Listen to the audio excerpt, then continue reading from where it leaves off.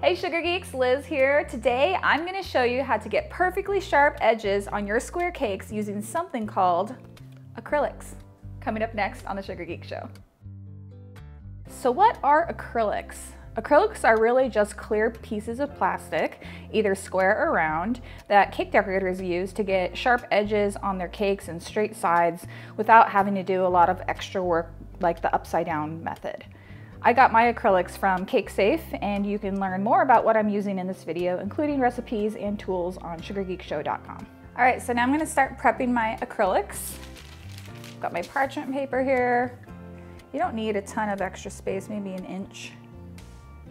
If you don't use parchment paper, your acrylics will stick to your buttercream. So I often see people complaining that acrylics are like a huge pain because it sticks. Well, you have to have parchment paper on there.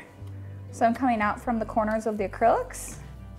I'm just gonna cut these corners straight off like a square of each side. And then we're just gonna wrap that nice and tight. I'm using painter's tape because it is really strong and um, holds really well, but it also releases without leaving a residue. Fold this down. I, I want my corners to be nice. So definitely make sure you don't have any excess paper hanging over these corners because your bench scraper is going to be going around these edges. So if there's anything that's like loose, they're going to catch that. There's a bit more prep that goes into using acrylics, but it does make the actual process of getting your cake square and straight faster. So it's kind of like, well, what do you want to spend more time on? Getting your edges perfect without using the acrylics or investing in the acrylics and it just, you have to wrap them, but less time frosting. So if you don't want to use acrylics, definitely refer to my square cake tutorial on Sugar Geek Show. All right, so I have both of my acrylics wrapped and I just want to make note that when you trim your board, especially if you buy them pre-trimmed, your cake board needs to be just a tiny bit smaller than the acrylic. So my acrylics are six inches. My cake board is five and three quarters inches. So this is really important so that your ganache or buttercream goes all the way down to the bottom edge of the acrylic because if your cake board is the same size as your acrylic, then you're uh, not gonna be able to get to that edge. All right, let's do this. We're gonna take our first acrylic and put it down like so buttercream. Don't forget the cake board. so acrylic, then cake board, and a little more buttercream. First layer of cake. That would have been so sad if I like glued this to the acrylic. All right, and then we want a nice even layer of frosting. If you don't feel comfortable like gauging how thick your frosting is, you can use a piping tip and, it, and however thick your piping tip is, that's gonna be how thick the frosting is. So if you use a piping tip that's a quarter inch or half inch thick, then you can just pipe across and get nice even layers. But I'm too lazy for that, so I just put my layer on there and then I just make sure that it's nice and even. Doesn't matter if it goes off the edges. The process is the same for ganache or buttercream. The really the only reason to use ganache is if it's gonna be super, super hot. Even with my baby shower cake, it was uh, 90 degrees that day. So I decided to use ganache on the outside, but I still filled the inside with buttercream. Just trying to make sure that all of my cake layers are even so they're not like all jagged when I slice, cause I'm a perfectionist.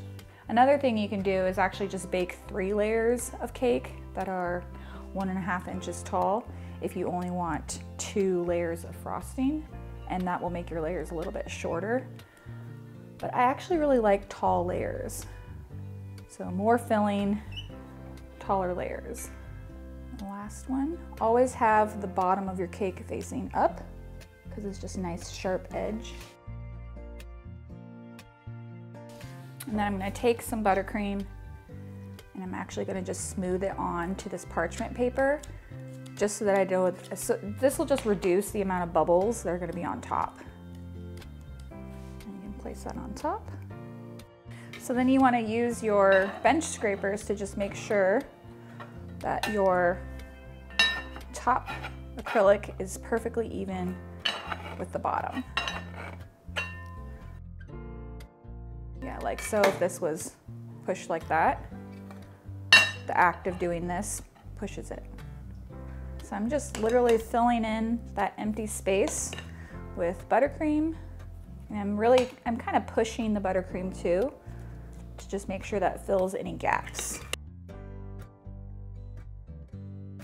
So now I'm making sure my acrylics and cakes are level again. And then using my bench scraper, I'm gonna start at one corner and scrape from that corner to the center of my cake. And then go to the other corner and scrape to the center.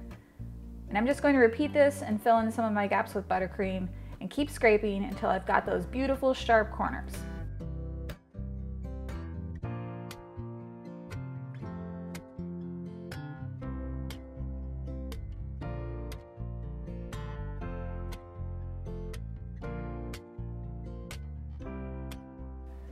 Okay, so now I'm gonna place this into the freezer for about 20 minutes until it's nice and firm.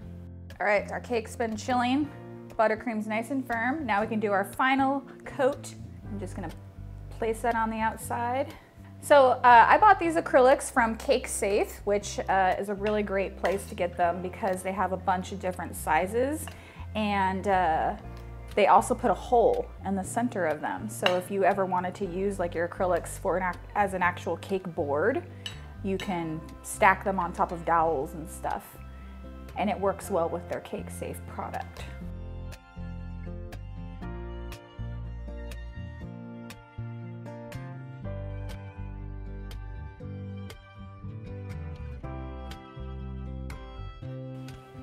All right, so now I'm just gonna clean up the corners. This is the most satisfying part.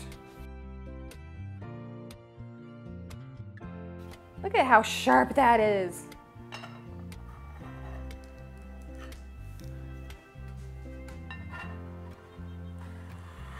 Boom. Corner complete. Corner dance, corner dance. So one of the great things about using acrylics is you don't you like don't have to worry about your bench scraper being straight up and down because you're literally just scraping right up against the bottom acrylic and the top one. So it's a great kind of foolproof way to get those sharp corners. So I'm going to uh, scrape this down as clean as I can possibly get it. And then I'm gonna put it in the fridge for maybe five more minutes and then just do one final pass just for those corners because they do get a little bit curved. So you need to go in and out of the freezer maybe like three times. All right, last time.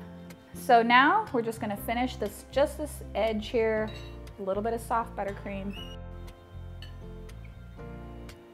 And I have my bench scraper that has been warmed under hot water and then dried. And what this is gonna do is get rid of any bubbles on the surface, make it super smooth.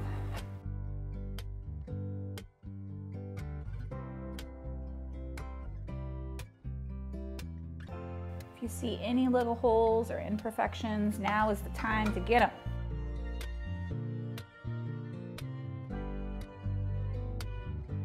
Now, I know I said that this was the last time they need to go in the freezer, but I lied because it does need to go one more time.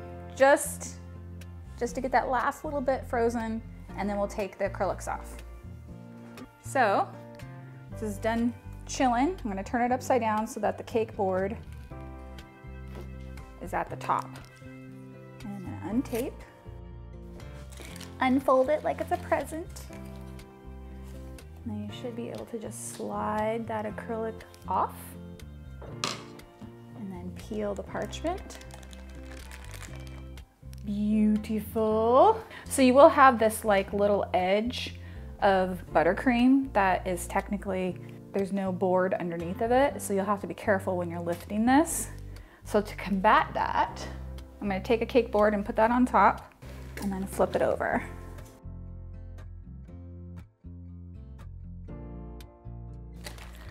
Unfold the parchment. Acrylics come off nice and easy.